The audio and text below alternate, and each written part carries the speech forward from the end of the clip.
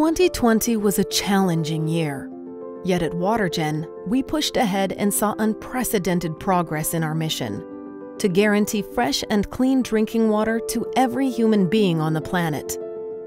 We partnered with Australia's disaster response team. We brought water to the Philippines and Indonesia. In Thailand, our products were used to care for the elderly. In Cambodia, WaterGen was installed in hospitals, and we provided clean drinking water aid to those suffering from heavy flooding in the region. We partnered with the national government of Uzbekistan to deploy our technology in the country, and following the historic Abraham Accords, we signed a partnership with Al Dahra in the UAE to bring the best quality drinking water to the desert we launched a strategic project in Azerbaijan to combat drinking water scarcity, and we partnered with the Ford Foundation and World Vision to provide drinking water to rural areas in South Africa. We delivered drinking water to dozens of countries like Niger with little clean water resources and poor infrastructure. Microsoft requested WaterGen for their new green headquarters in Israel. And WaterGen's products began to serve as water makers for boutique liquor distilleries Water presented its solutions to global thought leaders and brought life saving devices to the water scarce Gaza Strip. We installed from Poland to Venezuela to Chile to Costa Rica.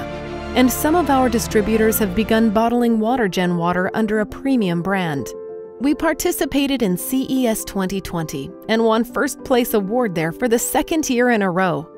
Disney headquarters also invited us to present to its global team as one of CES 2020's best. We participated in the annual China International Import Expo and partnered with the Wall Street Journal to become the first ever exclusive drinking water from air supplier at Davos. We presented WaterGen to worldwide leaders, amazing events, and participated in panels and webinars around the world.